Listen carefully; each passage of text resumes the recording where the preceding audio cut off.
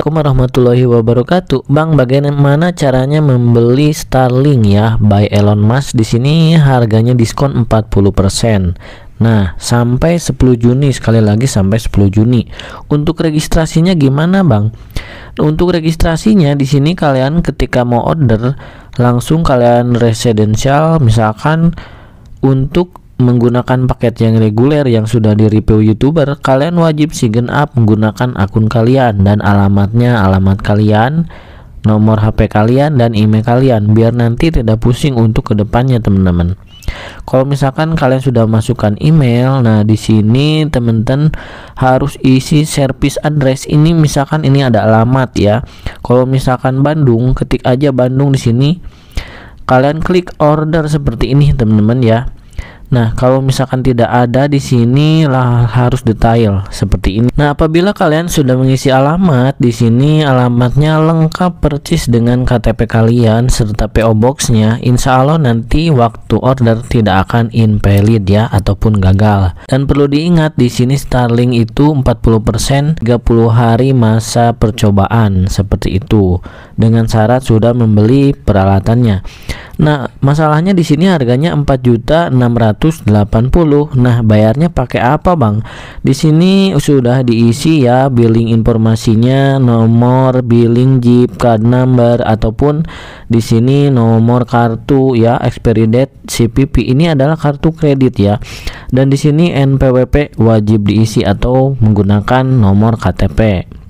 Setelah itu kalian lihat servisnya paket yang ini 750.000 dan hardwarenya itu 4.680 total 5.025.000 kalian pledge order ya. Nah ketika pledge order misalkan ada tulisan merah usahakan kalian isi ya.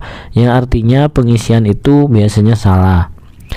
Nah untuk order ini kalian wajib menggunakan kartu kredit ataupun bank lain yang support pembayaran. Biasanya kartu debit juga ada yang berlogo e, Visa ataupun Mastercard.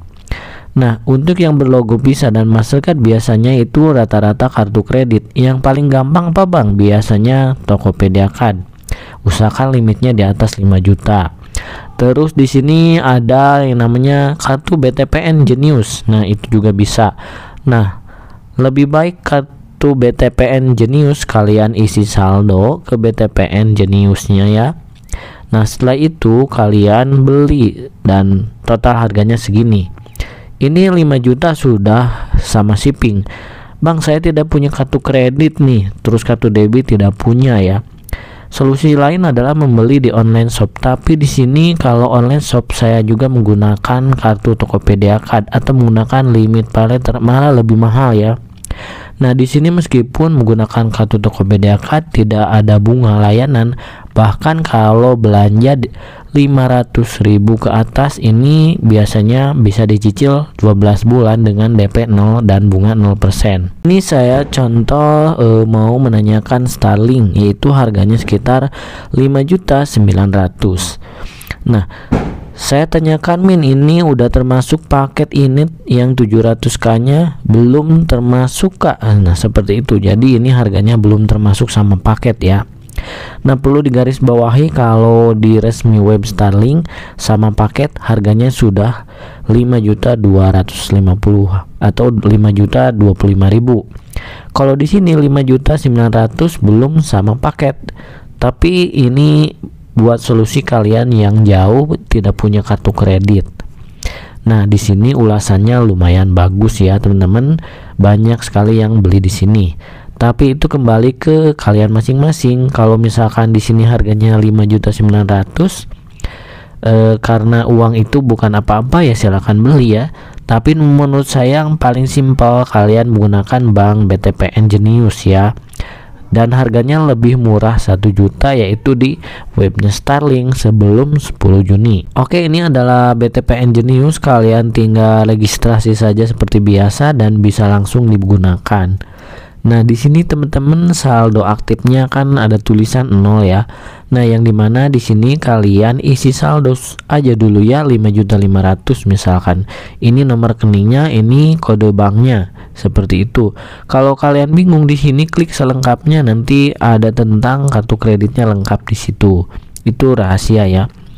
Nah setelah itu kalian sudah isi saldo ataupun kalian misalkan isi saldo sudah isi saldo silakan bayar bayar menggunakan kartu dari Genius. Nah kartu Genius ini kalau aktif biasanya ada menu wealth.